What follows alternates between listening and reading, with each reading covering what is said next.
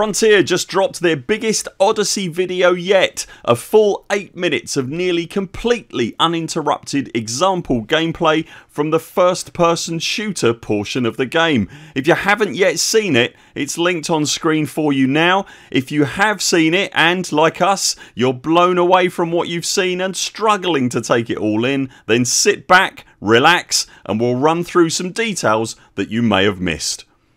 If you enjoy this video remember to hit like and subscribe and if you'd like to help support the work of this channel you'll also find us on Patreon. Links to everything you need are in the description below. In the 8 minute gameplay capture then we're treated to a slightly hammy but nonetheless exciting and enticing look at just one aspect of the Odyssey first person experience where a 3 player team land on a planet infiltrate a ground installation, shut down the facility's reactor core, steal a vital component from the reactor and then make their escape under fire from the base's inhabitants. Whilst the whole sequence appears to be made up from a couple of different gameplay sessions stitched together to form a continuous flow of action it does give a much more solid idea of the sort of gameplay that Frontier are aiming for in this portion of Odyssey. In the opening moments we're aboard an Alliance Crusader on approach to the planet Villae C4 if you've ever wondered what Frontier specifically meant by tenuous atmospheres and just what sorts of planets we'll be landing on in Odyssey there's a link to EDSM's current details on Villae C4 in the description below. The gameplay then cuts to a ship approaching the target installation Dutch Munitions Stockade Sadly we don't get to see the atmospheric re-entry sequence. Remember this is pre-alpha gameplay and Frontier clearly aren't ready to show that off yet. More on that later. On the right hand side you can see a brief look at the layout of the base. It's walled and not of a design that we've seen before in the existing game. There looks to be at least two ways in or out both on opposite sides of the base. The ship is on approach to a designated landing pad in the dust outside the installation. Next we see two members of the squad running underneath the ship towards the base. We're not shown the exit from the vessel. Again Frontier not yet ready to show that much speculated detail off but we do start to get a sense of just how big the ships in Elite really are when compared to a puny human. We have some new HUD elements on the left hand side showing status for members of the wing and also various other HUD elements showing a compass, radar and shield, health and energy level status etc. We next get a good look at a militaristic armour set worn by one of the characters and then another point of view look at the other character in very different armour. The next shot is back in the cockpit of the ship and there's actually something potentially huge shown here. The ship is showing a ground based gun emplacement as a target on the left hand side of the HUD.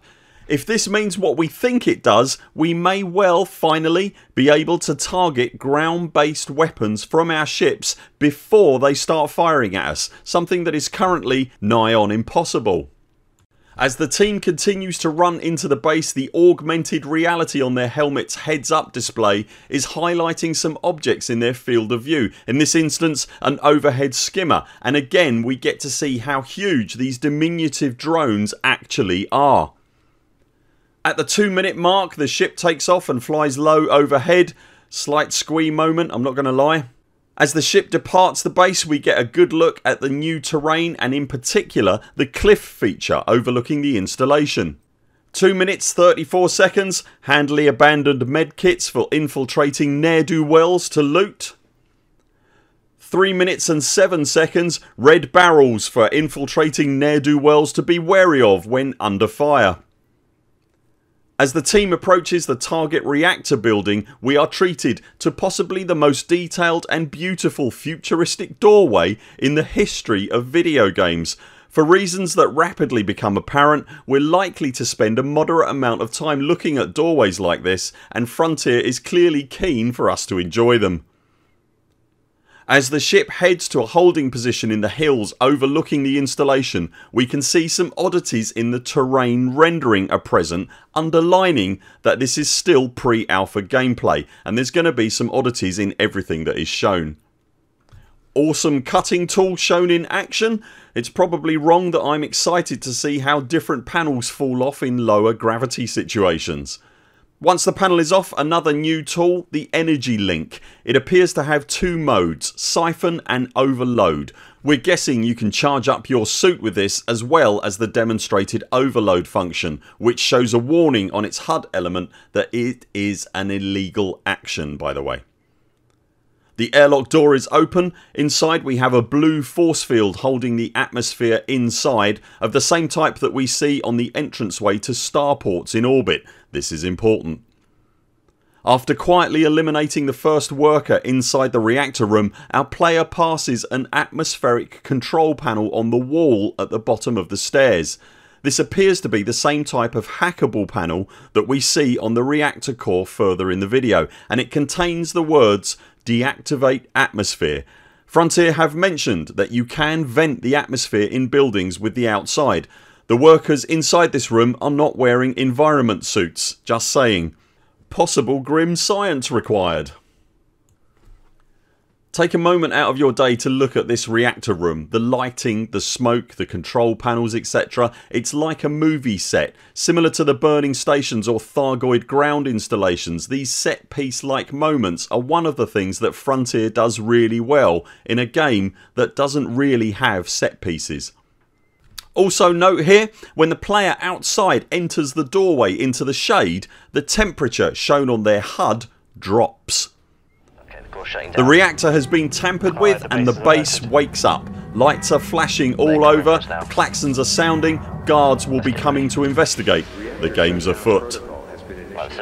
More handily placed medkits. As with the rest of Elite Dangerous the sound design throughout this sequence is absolutely world class. The approaching guards are wearing what appears to be heavy armour and look to be very tanky in nature. The player guarding the door has activated their personal shield. There's a new insignia against players names on the HUD. We've not seen this before. Also it appears that your headgear and face covering can be retracted or removed when in an atmosphere. The light here is coming from the players own torch. Jump assist jetpack is used. As the ship returns to extract the team on the HUD is written lower landing gear for auto landing. It appears that the days of shuffling back and forth to try and find that perfect alignment for the undercarriage to engage with the floor and land your ship on a planetary surface are over. As the pickup ship returns he attempts to lay down some suppressive fire for his escaping team the installation superstructure showing the scars of the battle raging around it. More outstanding audio work. Throughout this whole escape sequence you can hear the guards shouting to each other. It's really eerie and unnerving. There's a marker on the floor that shows where you can board the vessel but the camera cuts away again at the crucial moment. Again this is pre-alpha and Frontier are not yet ready to reveal how that's going to work. And then the alpha date is finally revealed. March the 29th is alpha day. So there we have it a proper meaningful slice of gameplay from the upcoming Odyssey expansion and a release date for the alpha. Without a doubt the most impressive and immersive gameplay we've seen from Odyssey so far. It completely blew away our expectations here at the pit and the alpha now really isn't that far away at all. What are your thoughts on what you've now seen? Are you buying into the alpha now as you've seen this or are you holding off for more details on gameplay like exploration and scavenging? Let us know in the comments below. Frontier have another live stream and developer interview starting at 4pm UTC on Thursday. That live stream will again be featuring the purple Twitch drops that we've seen before but it will also undoubtedly have more juicy details about Odyssey that we've not been able to cover here. As soon as we have that information we'll bring it to you so make sure you're subscribed so that you don't miss out. That's it for now. Thanks very much for watching. We'll be back later this week with more videos. Until then 0 7 CMDRs follow the greens on the way out and do keep clear of the toast rack. We very much look forward to seeing you next time.